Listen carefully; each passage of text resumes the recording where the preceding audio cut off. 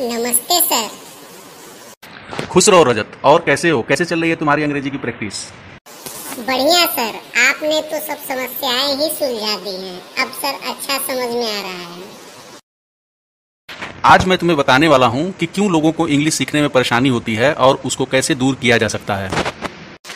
बहुत बढ़िया sir. Please.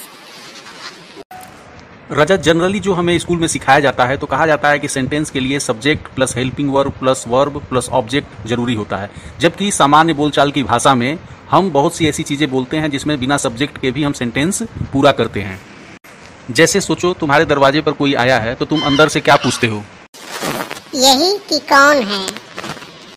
Correct Rajat. यहाँ पर देखो यहाँ पर हमें ना तो सेंटेंस में सब्जेक्ट और सारी चीज़ें जो है उपलब्ध नहीं है। लेकिन जो हमें पढ़ाया जाता है, उसके अनुसार जो चीज़ें बोलनी होती है who is at the door लेकिन हम साधारण भाषा में हु इज़ या हु से भी काम चला सकते हैं। कुछ जगह पे जिस तरह से हम हिंदी भाषा का यूज़ करते हैं, अगर उसी तरह इंग्लिश बोलें तो बहुत ही आसान हो जाता है, लेकिन कुछ जगह पर हिंदी की तरह अगर हम इंग्लिश को ट्रांसलेट करने की कोशिश करेंगे तो वो संभव नहीं होता है। यही हमारे लिए इंग्लिश स्पीकिंग में सबसे बड़ी प्रॉब्लम होती है। तो अभी हम दीस दीज दैट और दोज को और अच्छे से समझने का कोशिश करेंगे।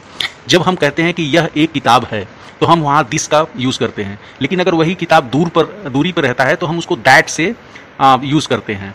और जब कई किताबें नज़दीक होती हैं तो वहाँ हम दीज का प्रयोग करते हैं, और कई किताबें अगर दूर पे है तो दोज का। तो जब दिस और दैट का यूज़ करते हैं तो वहाँ हम इज़ यूज़ करते हैं। इस सिंगुलर है में प्रयोग होता है। वहीं जब दीज या दोज का प्रयोग करते हैं, तब हम आर का यूज़ करते हैं। तो रजत, अब तुमको यह ध्यान देना है कि अपने घर में जाकर इस तरह की चीज़ों को पहले ट्रांसलेट करो। कोई चीज़ नज़दीक है, मान लो, एक चीज़ है तो उसको दिस के साथ यूज़ करो दिस इज़ और वही चीज़ अगर दूर है तो दैट इज़ ज़्यादा संख्या में है तो दीज और दूर है तो दोज इस तरह का प्रयोग करो, फिर आगे की चीज़ें फिर सिखाई जाएँगी।